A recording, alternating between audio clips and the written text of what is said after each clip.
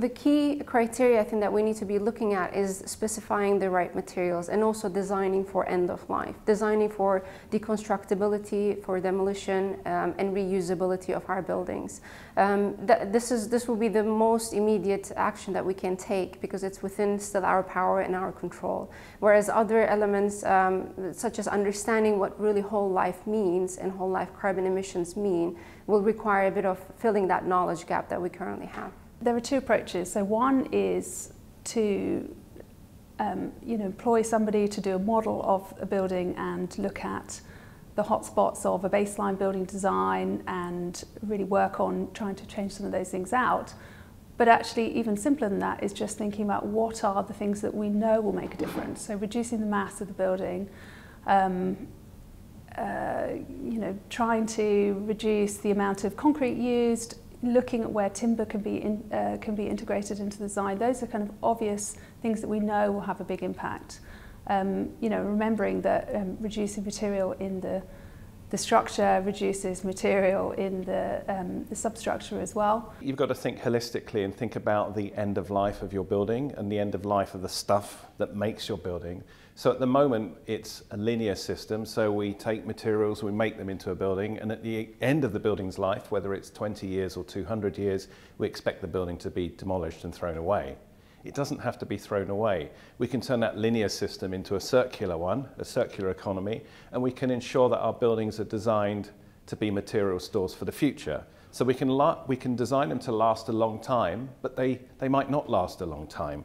But what's more important for me is designing them so they can easily be disassembled, and then those parts and elements of a building are reusable, which is really important. Straight away, architects can think about the embodied carbon of the materials they're using and in particular we can start we can reduce and eliminate materials with high embodied energy like concrete and steel which combined are responsible for 15% of global CO2 emissions.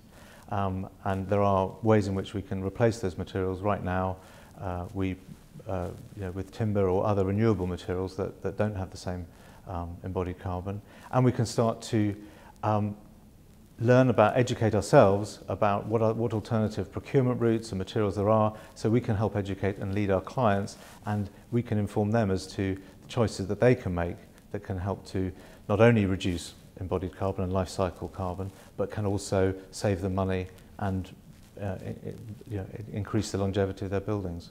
Well, there's, there's, the, there's, the, there's the easy answer and there's the difficult answer. I think the, the difficult answer is to actually uh, uh analyze and assess the carbon, the embodied carbon costs of what we're doing. And of course, there are metrics and there are uh, things like the RICS methodology, uh, there, there are ways out there of, of, of doing analysis.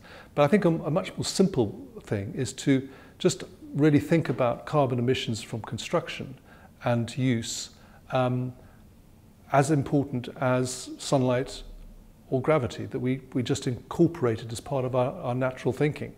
So from that perspective, we should be thinking automatically about, you know, how little material we can use rather than how much. We should be thinking about where it comes from.